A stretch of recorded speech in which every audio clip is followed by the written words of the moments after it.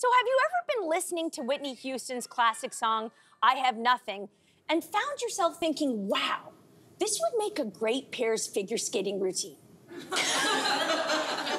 Uh, maybe not. maybe, like, maybe not. I don't know. But it turns out one of our next guests has. Check this out. The concept for the skate is you're a cool individual, okay?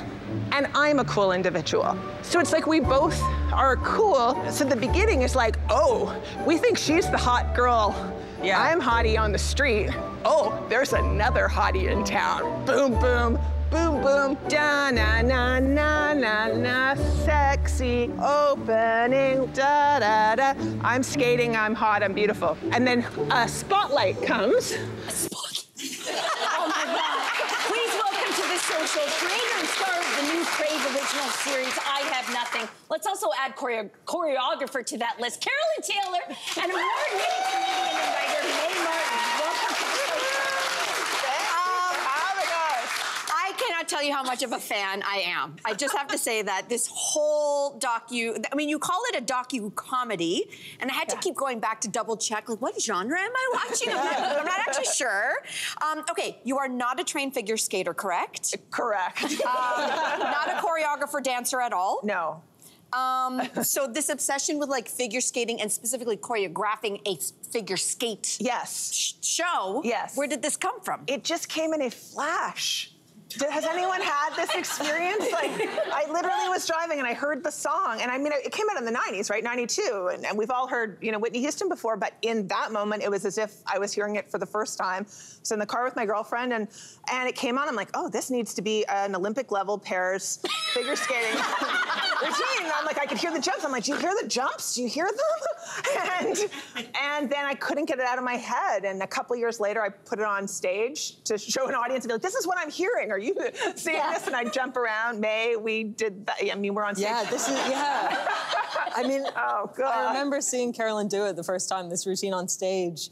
And it was like the audience was under a weird spell where they thought she was actually landing axels. Like she would just go like this, and they'd all be like, and it was like, what is happening? Mae, you, you described Carolyn's energy, and I quote, as chaotic. what did you think Wow. when, when you first hear this idea? What did you think? And did you think she was serious? And is she serious? Well, that's an interesting question. Yeah, I think um, because I was seeing it in the context of a comedy routine, I thought it was genius and Yeah. hilarious. But I could see there was like a flicker of, of delusion in there as well. Like a, there's a there's like a slight madness of like, no, Yes. I really can do this. And then um, and then when the show got greenlit, we uh, we were all shocked and in awe. And, I mean, it, It used to be part of the stand-up where I'd say, and one day I'm gonna pitch this, and the network's gonna say, okay, and the audience is like, ah! Yeah, but I was, I mean, knowing Carolyn for so long, I wasn't surprised. She's a powerful manifester and has a very contagious enthusiasm for things, so I wasn't too shocked, but yeah, it's, she's definitely serious. Oh my God. Well, uh, in the series, you guys call in some serious skating legends, including Olympians David Pelletier and Katerina Gordeeva. Like this is- yeah. This is Gordeeva. Yeah. huge. Carolyn, what was the learning curve like? Yeah, you see, I was scared watching them. I'm like, oh, I remember. That was like, oh. Yeah. They're like What race the learning curve like not for you but for them uh, Oh. being led by you as their leader essentially their choreographer Well, they, I mean, admittedly, these are like gold medal Olympians, right? Like they had, they were, they were like, okay, are you serious? They thought actually at first that they were going to be choreographing me, and, I was like, no, no, no, it's me choreographing you, and they're like, oh, about the same, like it's the same level of absurdity, and so they, but they did surrender to the process. It took a while to like build the relationship and Yeah. stuff because they're trained, like they're precision. They are like racehorses. They, you know, they're, and I'm all like, let's play. yeah, yeah. You know, so it took a while for us to find each other, but then we we really did. Yes. Yeah. I have to say, the supporting cast of characters in this show is absolutely delightful. The kind of people that stay with you. There's Trudy, the psychic, and Polly, the ice technician, Oh, yeah. uh, with his words of wisdom, which I love. Dreams are tough.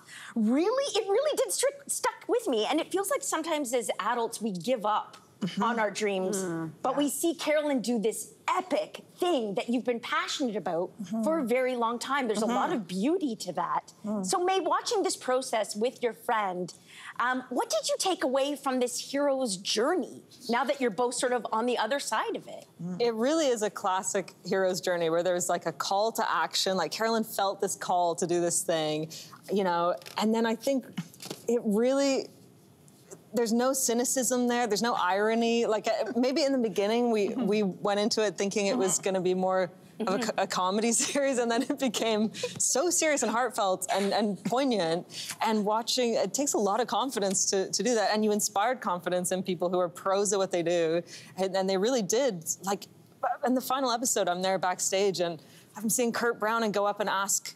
Like, so should I be on the left for this? And I'm like, what is happening? Like, this is like, It happens a lot that you literally look to camera and Like, you're like, what's happening? It's like everyone was under a spell. Like it was, That's a great way of Yeah, describing it. yeah. Under spell. It's beautiful. but it was You know, very beautiful. Yeah. It was beautiful, to Yeah. say the least. Uh, Mae, while we have you here, it was recently announced that you made the Time 100 next Yeah. list. Yes, I mean, crazy. huge.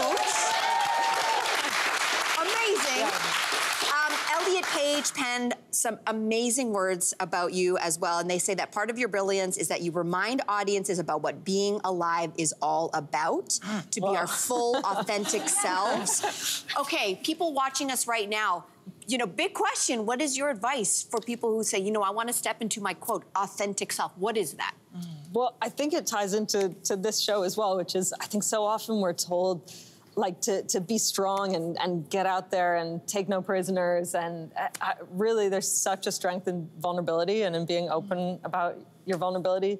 That's in, in my own career and life, like that's what people respond to when I'm open about that. It's so universal. And with something like this, it's such a specific dream that you have. It's so niche and so specific, but it's so universal because everybody can relate to that kind of self-doubt and passion and ambition. And yeah, so it's, I think it's, there's strength and weakness. Yeah. That is so, so much fun. Hey, audience, listen up. I Have Nothing. It drops tomorrow, 9 p.m. on Crave. You will binge it the way I did. I promise you. It is hilarious. Uh, thank you again, both, for being here. Thank you.